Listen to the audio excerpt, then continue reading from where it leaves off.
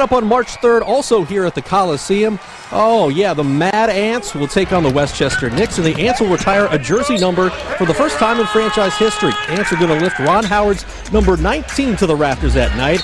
Nicknamed Mr. Mad Ant, he played seven seasons here in Fort Wayne, and at one point was the D-League's all-time leading scorer, but he spent the last two seasons overseas.